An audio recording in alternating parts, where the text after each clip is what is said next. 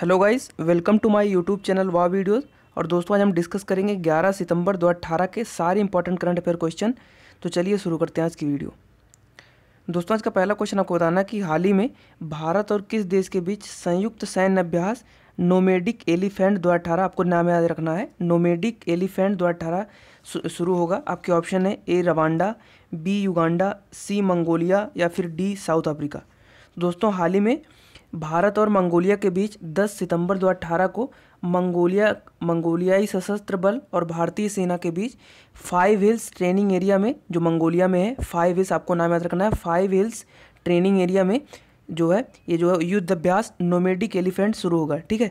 अब बात कर लेते हैं इस इस इस युद्ध अभ्यास के बारे में। तो नोमेडिक एलिफेंट युद्ध अभ्यास एक वार्षिक दो देशों के बीच होने वाला युद्ध अभ्यास है, जो हर वर्ष जो है आयोजित किया जाता है, जिसे भारतीय व मंगोलिया के सशस्त्र सेनाओं के बीच साझेदारी मज़बूत करने के लिए बनाया जाता है, ठीक है? और इस युद्ध अभ्यास में भारतीय दल का प्रतिनिधित्व, जो आप फ़ोटो में भी देख पा रहे होंगे कि सत्रह पंजाब रेजिमेंट के एक दल द्वारा किया जाएगा, ठीक है? तो इसमें आपका ऑप्शन सी सही हो जाएगा, मंगोलिया, ठीक है? चलिए बढ़ते हैं आज के नेक्स्ट क्वेश्चन पे। दोस्तों, आज का अगला क्वेश्चन आपको बताना है कि एच पीड़ितों के साथ हो रहे भेदभाव से निपटने के लिए हाल ही में कौन सा अधिनियम लागू करने की घोषणा की गई है? आपके ऑप्शन है ए, अधिनियम 2014 बी, अधिनियम 2015 सी, अधिनियम 2016 या फिर डी, अधिनियम 2017 तो दोस्तों, हाल ही में स्वास्थ्य परिवार कल्याण मंत्रालय ने 10 सितंबर 2018 से लागू होने वाले एचआईवी और एड्स 2017 को लागू करने की घोषणा की है। अधिनियम इसमें आपका ऑप्शन डी सही हो जाएगा, अधिनियम 2017 ठीक है? अब बात कर लेते हैं इसके अंतर्गत क्या क्या चीज़ें आएँगी। तो यह अधिनियम 20 अप्रैल 2017 को पारित किया गया था, जो उपचार, रोज़गार और कार्यस्थल पर एचआईवी से पीड़ित लोगों के साथ होने वाले भेदभाव को रोक रोकने के लिए बनाया गया था। तो इसमें आपका ऑप्शन डी सही हो जाएगा और साथ ही साथ आपको इस क्वेश्चन से इतने पॉइंट्स मिल जाते हैं। चलिए बढ़ते हैं आज के नेक्स्ट क्वेश्चन पे। दोस्तों, आज का अगला क्वेश्चन आपको बताना कि हाल ही में भारत ने किस देश के साथ 500 मेगावाट बिजली के साथ साथ अन्य परियोजनाओं को शुभारंभ किया है। आपके ऑप्शन है A Sri Lanka, B Bangladesh, C Nepal या फिर डी इनमें से कोई नहीं। दोस्तों, हाल ही में भारत और बांग्लादेश ने संयुक्त रूप से 10 सितंबर 2018 को बांग्लादेश में भारत ने तीन परियोजनाओं की शुरुआत की है तो इसमें आपका ऑप्शन बी सही हो जाएगा बांग्लादेश। अब ये तीन परियोजनाएँ कौन कौन सी हैं, मैं बारी बारी से हम लोग डिस्कस कर लेते हैं।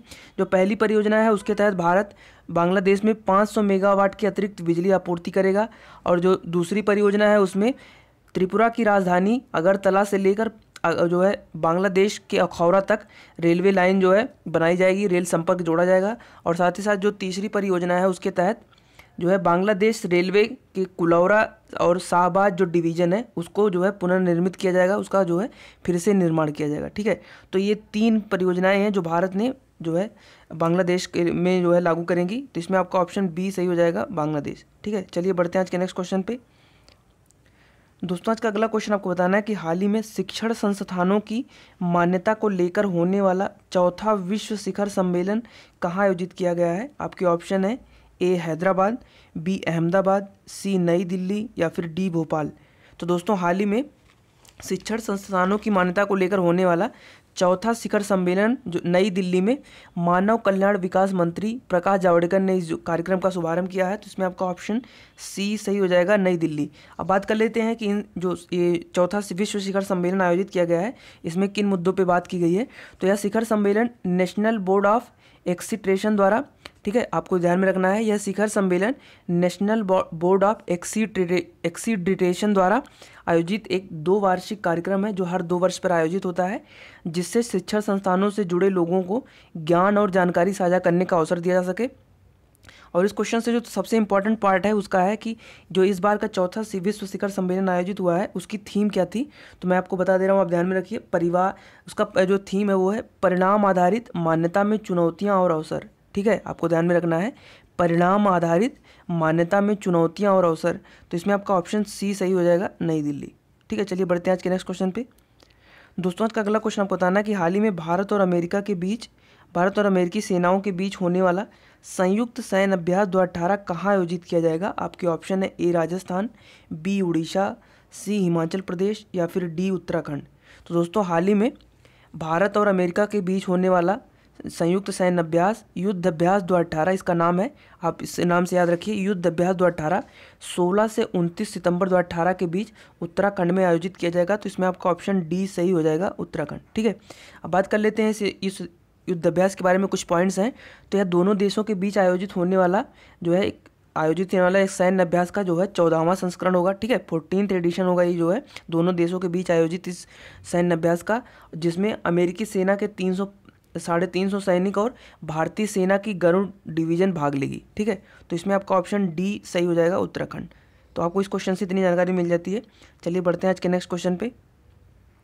दोस्तों, आज का अगला क्वेश्चन आपको बताना कि हाल ही में भारत में पहली बार बायोमेट्रिक बोर्डिंग से पहचान सुनिश्चित करने वाला एयरपोर्ट कौन सा बनेगा? आपके ऑप्शन है A Kochi B Bengaluru, C Mumbai या फिर डी नई दिल्ली।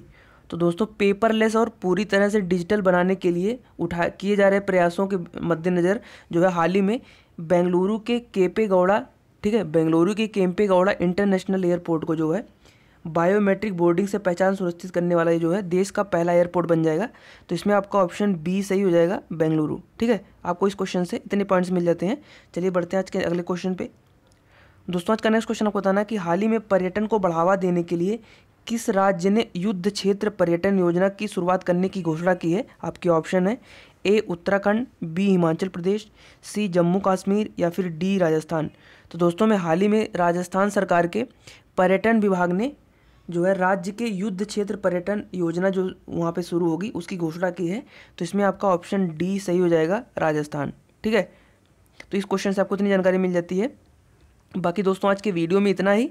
और मैं अन अकेडमी पर भी पढ़ाता हूँ तो आप वहाँ पे जो है दिए गए लिंक पे मुझे मुझे अन अकेडमी फॉलो कर सकते हैं। लिंक आपको डिस्क्रिप्शन में मिल जाएगा।